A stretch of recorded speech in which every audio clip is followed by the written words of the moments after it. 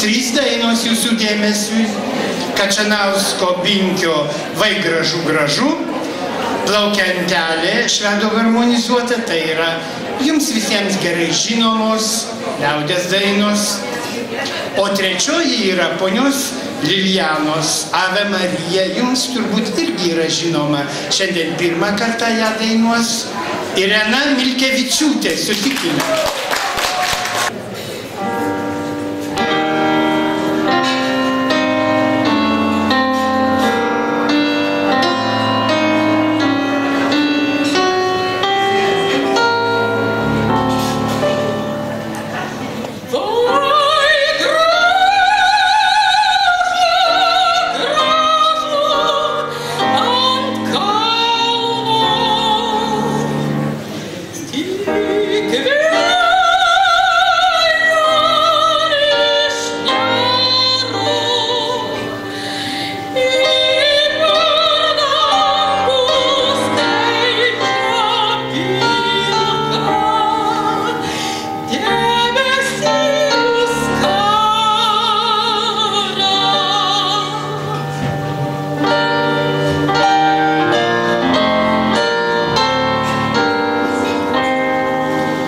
Oh.